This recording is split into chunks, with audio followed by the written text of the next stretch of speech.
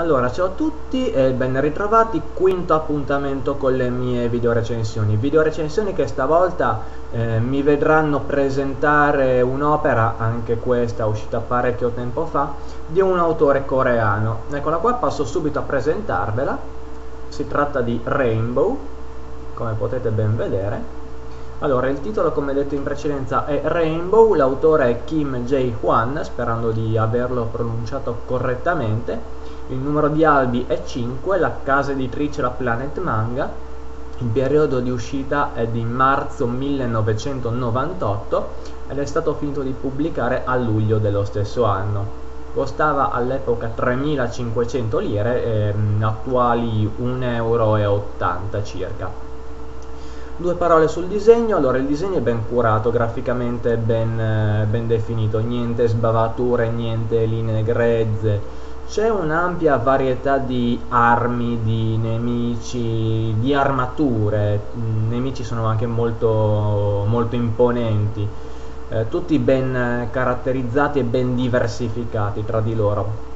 Quest'opera Rainbow è stata accostata all'opera di un altro autore coreano, sto parlando di Shoma eh, un altro manga datato 1997, la differenza sostanziale è che Shoma praticamente è stato stroncato da pubblico, critica, insomma da chiunque sapesse leggere, cioè io non ho mai visto parlare così tanto male di, di un manga in vita mia.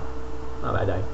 Eh, parentesi chiusa, torniamo a Rainbow, due personaggi principali sono Gaia che un adolescente, un maniaco un po' pervertito alla City Hunter, giusto per darvi un'idea, un po' megalomane, si crede l'eletto dei cieli, come, come ama definirsi lui. È abilissimo con la spada, è molto audace, molto spavaldo, spesso sconsiderato, infatti si lancia in battaglia senza troppe esitazioni. Lo accompagna Nicky, una splendida ragazza amica d'infanzia di Gaia, anche lei abilissima nel combattimento corpo a corpo, è molto più riflessiva e meno megalomane. Eh, gli fa da scorta Arti, o Arthur, eh, che è un androide programmato per ritrovare e riattivare i poteri sopiti dei guerrieri Rainbow. È molto, molto dedito alla sua missione, si, si immola per la causa. Eh, una pecca, eh, purtroppo i guerrieri sono sette, è stato dato molto risalto a questi due principalmente, gli altri sono marginali, forse troppo, sono stati caratterizzati nel loro minimo essenziale, però ripeto sono solo 5 volumi, questo penalizza un po' quest'opera, che comunque è godibile. Due parole sulla trama, eh, allora in sintesi, Nicky e Gaia incontrano un robot, Arthur o Arti. Eh, dirà loro di essere un Rainbow Metal Ranger incaricato di ritrovare sette guerrieri prescelti, i sette guerrieri Rainbow appunto, che sono l'ultima speranza per combattere le forze del male. Mm, la trama non è proprio il massimo dell'originalità, mettiamolo comunque, l'opera di per sé è molto, molto piacevole, molto scorrevole da leggere non mi dilungo troppo in ulteriori dettagli perché non voglio rovinarvi la lettura. Ripeto per l'ennesima volta sono 5 volumi li leggete subito. Una pecca che ho riscontrato è che negli ultimi due volumi si ha una sorta di accelerazione narrativa.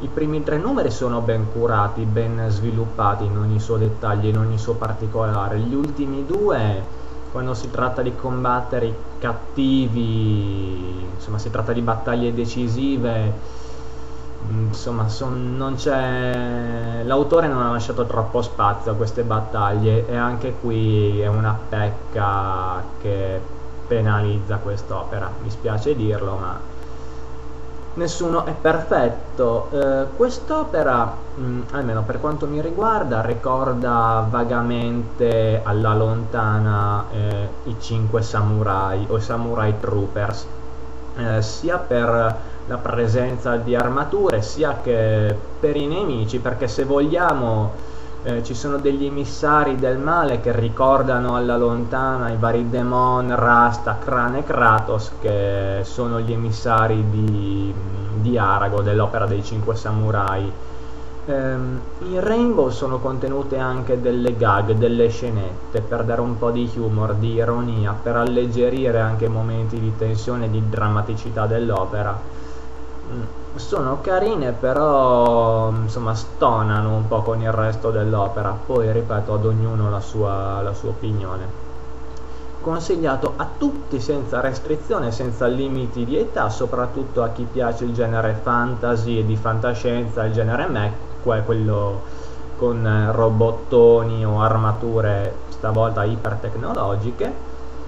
Eh, ripeto, la trama non è il massimo dell'originalità, però se volete un'opera, mm, un'opera alternativa sconosciuta in più, direi che fare un, uno sforzo per recuperare quest'opera vecchia, ripeto, è del, del 98, direi che ne vale comunque la pena del, dello sforzo e dello sacrificio, del sacrificio che state andando a fare. Dai, detto questo, chiudiamo qua.